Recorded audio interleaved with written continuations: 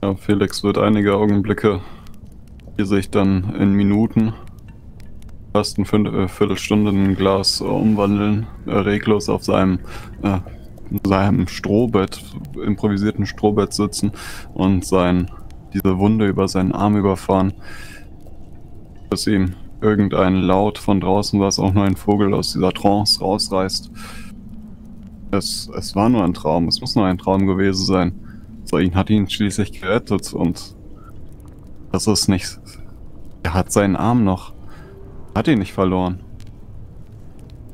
Jetzt muss sie hier. Muss ein Fiebertraum sein, vielleicht geboren aus diesem merkwürdigen Alkohol, den Junius noch einen, zumindest einen kleinen Schluck mit dir geteilt hat, bevor er dann selbst ja, diese, diese Ziegenmilch äh, getrunken hat. Aber gut, die, die Narbe, ja, die, die Narbe ist neu, die hast du dir sicherlich in Germanien geholt. Vorher hattest du den nicht, auch wenn du viele Jahre in der Legion gedient hast. Die Narbe ist neu, aber naja, der Arm muss doch deiner sein. Kribbelt ein bisschen. Niemand außer die Götter könnten ein solches Wunder vollbringen, einen Arm wieder ranwachsen zu lassen.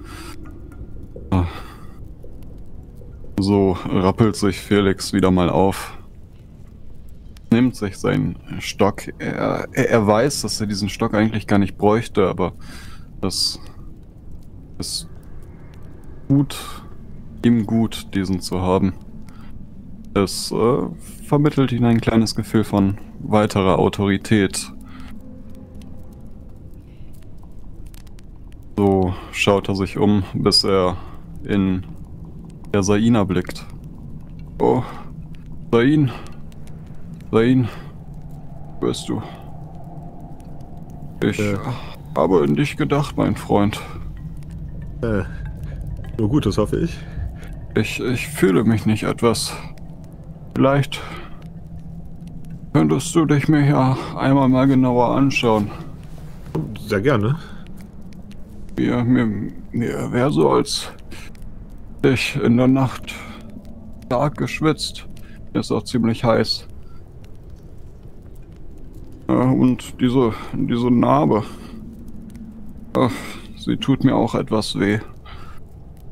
Ja, Sain würde mal seinen Puls nehmen und überlegen, ob er irgendwie erhöht hat.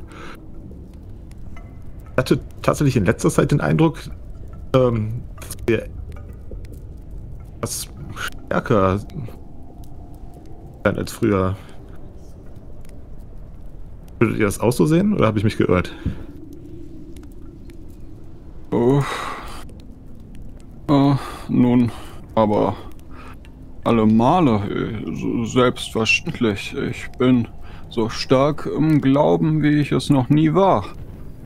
Und ich hoffe und ich weiß, das wird sich auch die finstere Zeit, die wir möglicherweise vor uns haben, wird dies nicht brechen. Das, das, das meinst du doch, mein Freund, oder?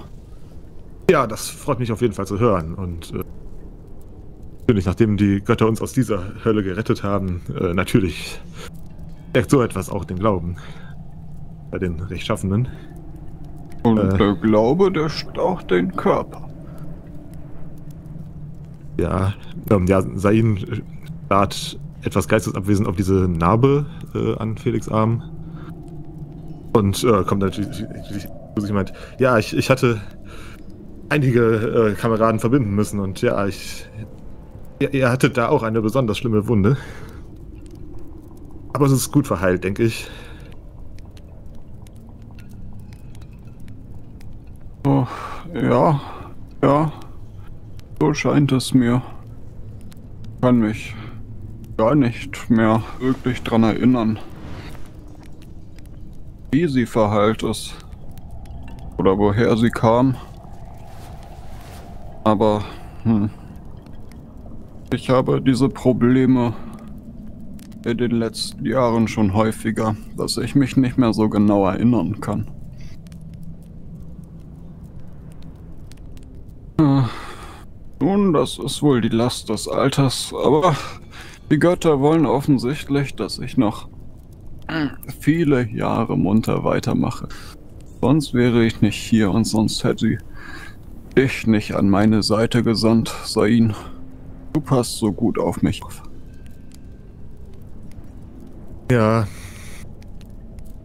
Ihr, ihr wisst, meine ganze Familie ist an der Pest gestorben, als ich noch ein kleines Kind war. Für mich ist die 19.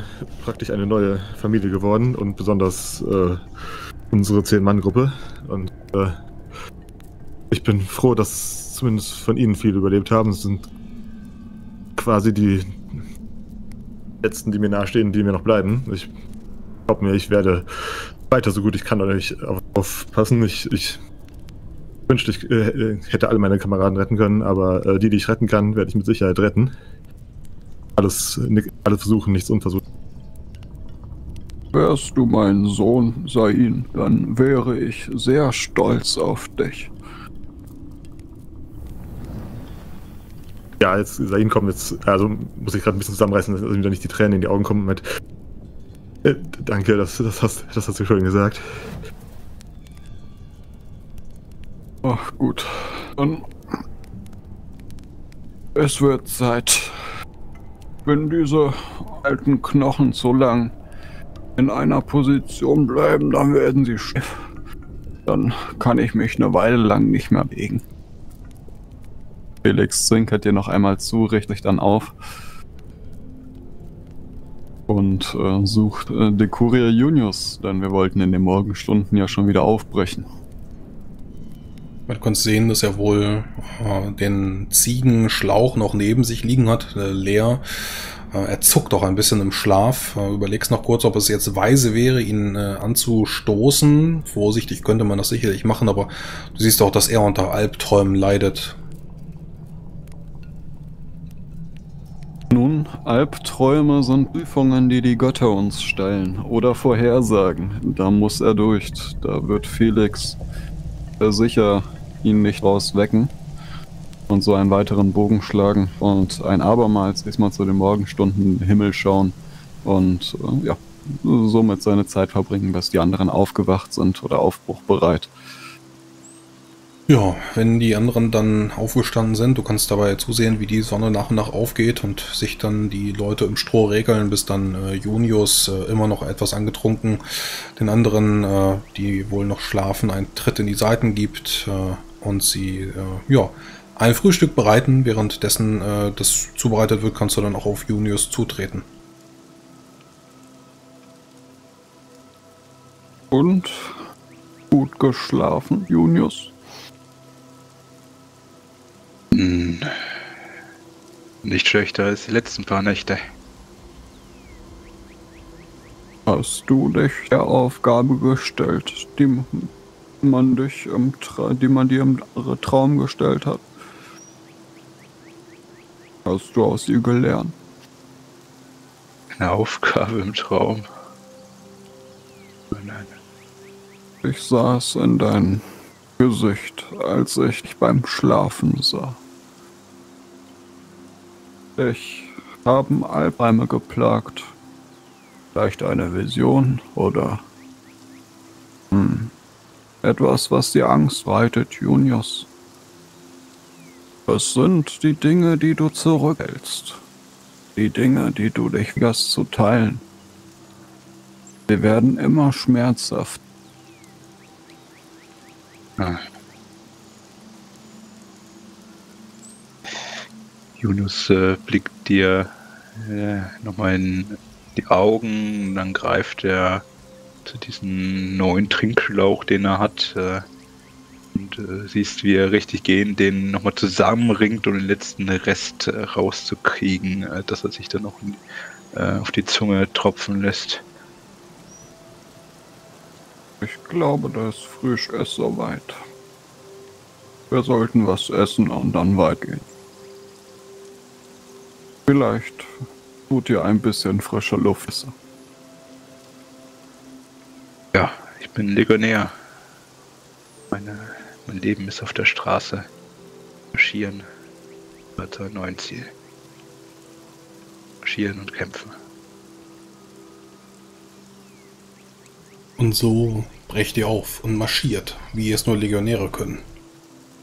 In Richtung Norden. Noch drei Tage bis zu dem ja, neuen Gebiet, was einmal die Hauptstadt von Germania werden könnte.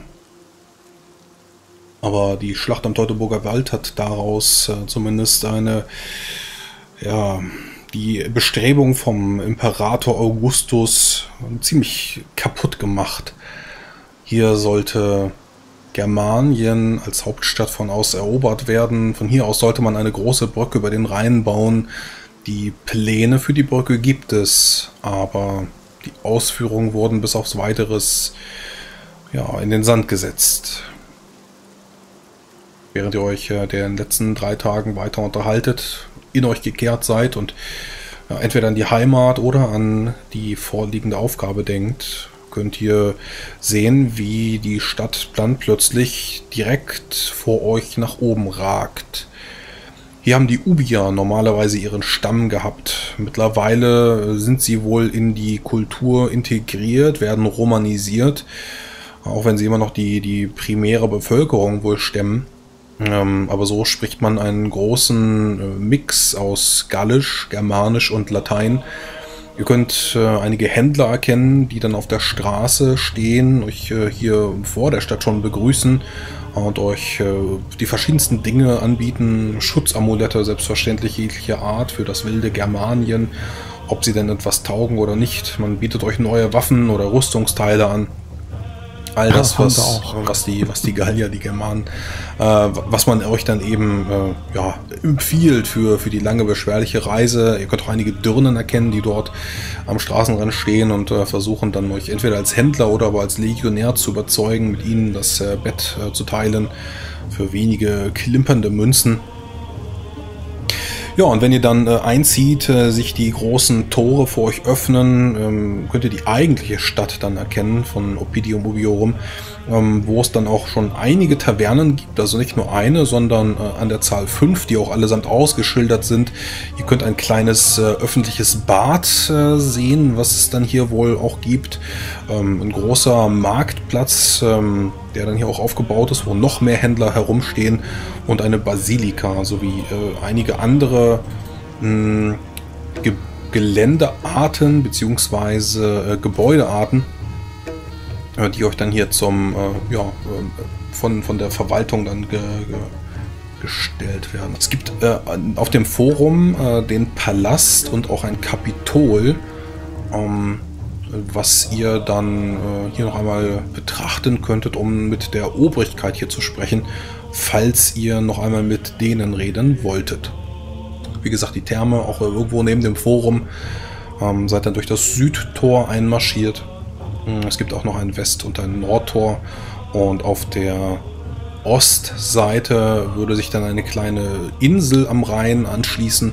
Ähm, hier gibt es auch schon so etwas wie Baustellen, die aber noch nicht über den Rhein äh, hinüberführen. Ähm, ja, sodass äh, sämtliche Bestrebungen zunächst einmal eingestellt worden sind. Wir sollten die neue Germanengruppe und ihre Siedelei bekannt machen und vielleicht könnten wir uns im Zuge dessen auch informieren über weitere Flüchtlinge aus äh, dem germanischen Raum. Ja. ist ja irgendwas zu Ohren gekommen.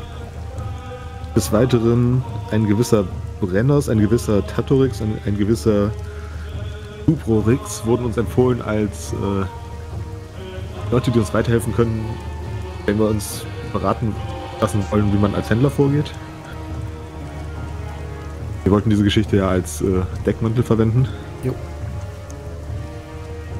Ja, und nach der beschwerlichen Reise ein Bad nehmen wäre wohl auch nicht verkehrt.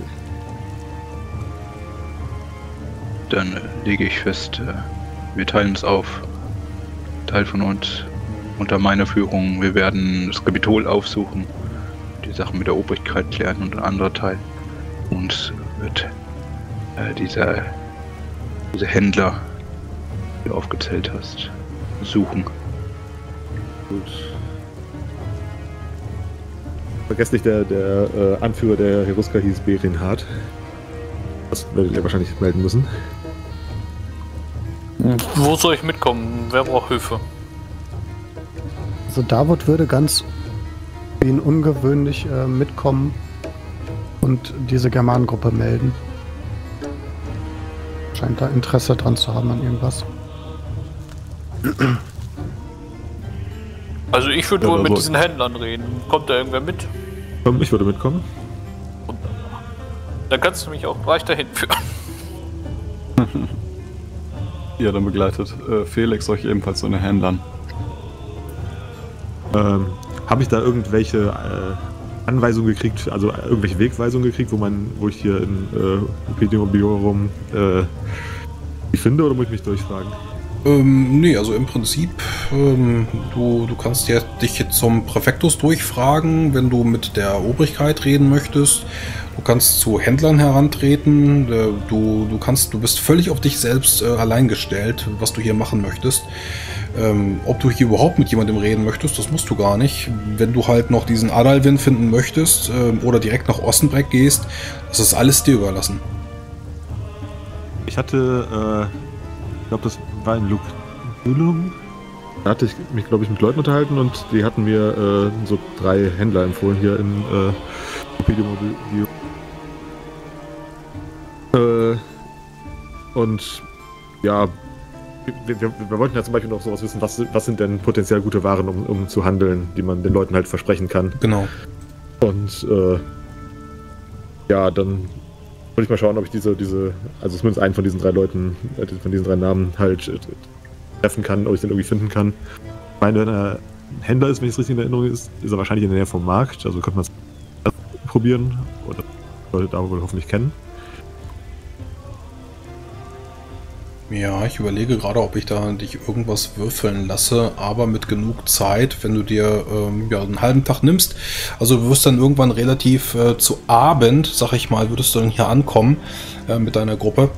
Ist jetzt natürlich die Frage, ob du dann abends schon rumfragen möchtest oder ob ihr euch erstmal eine Taverne sucht. Ähm, aktuell ist auf dem Markt auch noch was los. Du könntest das also auf alle Fälle tun, aber heute bleibt dir zumindest nicht mehr so sehr viel Zeit. Ähm, wir sind jetzt zumindest schon im April, äh, im nächsten Monat.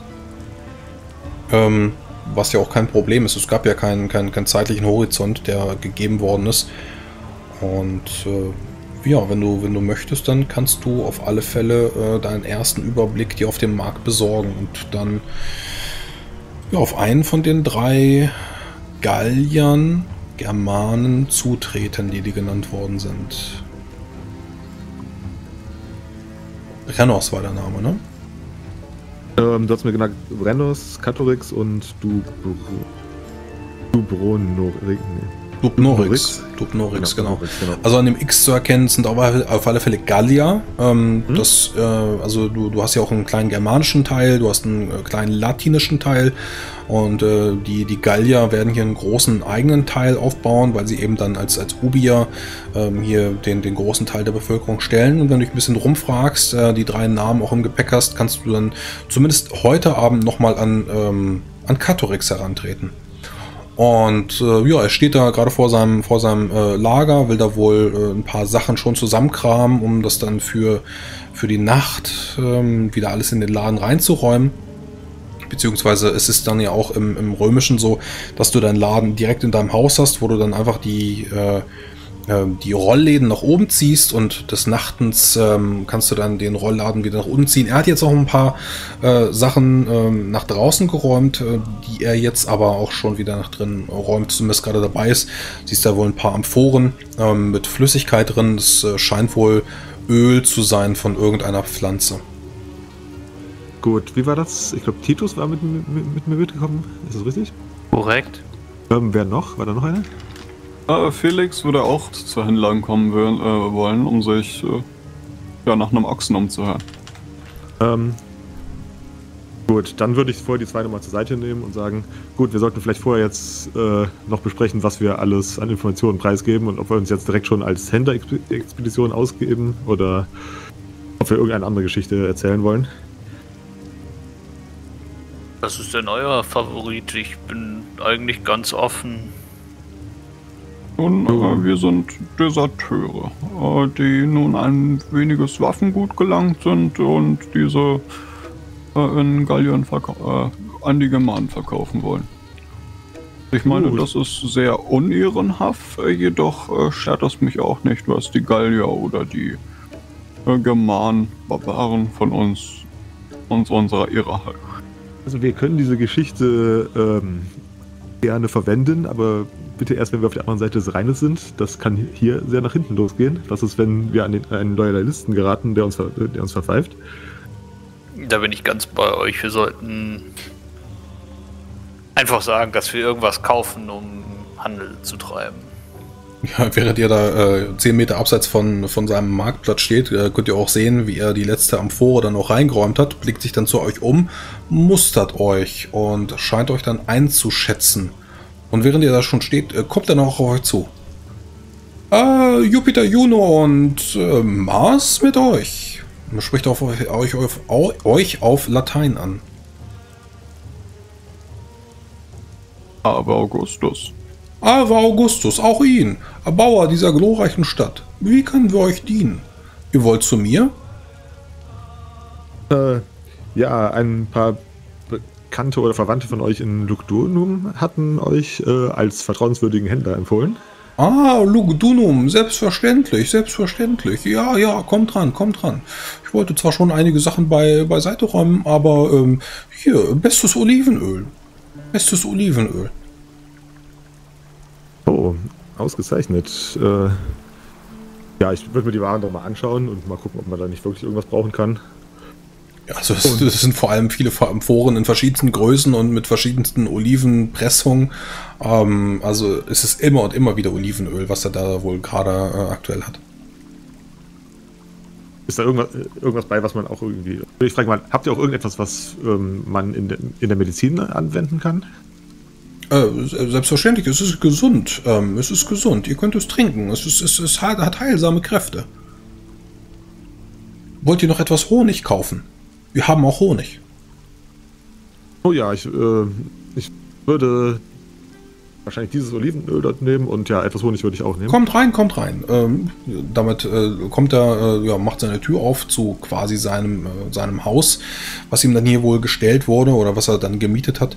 Und äh, ja, da kannst du dann nicht nur die Amphoren mit Olivenöl sehen, sondern auch Honig, Zwiebeln, ähm, also alles, was du tatsächlich auch für, für Heilen von Krankheiten brauchst. Kamillen kannst du erkennen, die da wohl äh, eingemacht sind. Also, äh, wenn du dich auch hier mit Tee eindecken möchtest, würde das ebenso möglich sein. Dann würde ich tatsächlich hier mal auf kleine Shopping-Tour gehen und mich hier mit ähm, allem eindecken, was ich so denke, dass ich vielleicht für, ja, für Arzt von Wunden oder sonst irgend. Ja, also im Prinzip, ähm, du hast ja ein Pferd, du hast Satteltaschen. Ähm, du weißt jetzt nicht genau, ob, äh, ob man in Germanien dann auch krank wird. Höchstwahrscheinlich wird man eher seinen Kopf verlieren. Ob man den wieder annähen kann, ist was anderes. Aber äh, zumindest, wenn ihr, wenn ihr mit Krankheit geschlagen werdet, das kannst du damit auf alle Fälle ohne Probleme wieder kurieren. Und ihr müsstet dann ja auch, wenn das alles erfolgreich ist, wieder durch den Regen zurück nach, äh, ja, entweder nach Rom oder nach Hispania, je nachdem, was dann in eurem äh, Brief, in dem Zettel steht, wenn ihr den Fabier wieder nach Hause bringen wollt, der ja in Rom sitzt. Und das auch das wäre dann wieder eine lange Reise über die Straßen. Und wenn man da krank wird, dann kann man da mit Zwiebeln, mit Honig, mit, mit äh, ja, diesen ganzen Kräutern da auch wieder Abhilfe schaffen. Ähm, ja, dann sage ich mal sehr erfreut zu dem Händler. Ja, ähm, hier sind einige Kräuter bei, äh, die ich im fernen Alexandria äh, nicht so einfach bekommen hätte. Also die Reise hat sich auf jeden Fall schon gelohnt. Ausgezeichnet, ausgezeichnet. Äh, ja, äh, und äh, ja, während du sicherlich dann äh, eine Stunde lang ähm, dir, dir Sachen einpacken lässt und er dann auf deiner Waage sich so eine große Rechnung zusammenschreibt, äh, es immer länger und länger wird. Und wenn Also ich möchte nicht unser Budget irgendwie kaputt machen oder so, aber ich denke, wir können das. Ihr habt, ihr habt viele, ihr habt viele Goldmünzen bekommen, also über, über die Maßen. Ähm, das hat zumindest Junius bei sich am Säckelchen. Wie ihr das ausgebt, das ist im Prinzip Junius überlassen. Ne? Also wenn, wenn, du kannst das auch, äh, kannst ihm jetzt sagen, wir haben jetzt das und das äh, und das musste bezahlt werden. Äh, Das ist unglaublich teuer, aber ihr habt auch viel Geld bekommen. Müsste halt Junius freigeben. Gut, das heißt, ich habe so viel Geld jetzt nicht bei, äh, am Mann gerade. Nee, das ist, das Also- ist, ja. Viel ist wohl ein bisschen weniger als unglaublich. Können wir das dann überhaupt bezahlen? Ähm, nun, dann werde ich. Äh, Nun, das. Also- äh, ich ich, ich habe das Geld jetzt natürlich nicht dabei, aber wir können. Äh, ich kann sicher von den anderen Händlern die Freigabe äh, holen. Ähm, und ich meine mal so zu diesem. Ähm, zu diesem Verkäufer. Äh, nun, wisst ihr, ich, ich habe mich einer Handelsmission angeschlossen. Äh, ich bin eigentlich äh, ein Medikus und äh, ich habe, ähm, ja, wir haben vor, auf die andere Seite des Rheins überzusetzen. Hat ihr dort vielleicht schon einmal? Ich selber nicht, aber ich äh, kenne mich natürlich ein bisschen aus. Man hört natürlich Geschichten. Wir, wir sitzen schon seit einiger Zeit hier und auch meine Vorfahren der Ubia waren bereits hier und selbstverständlich auf der anderen Seite sitzen die wilden Germanen, von, von denen man äh, viel hört und äh, noch mehr zu berichten weiß.